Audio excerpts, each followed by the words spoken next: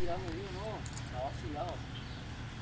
Y él llegó y se tiró. Y él me dijo, guau, pero estoy asustado. Y él le dijo, estás asustado, no te vayas a tirar.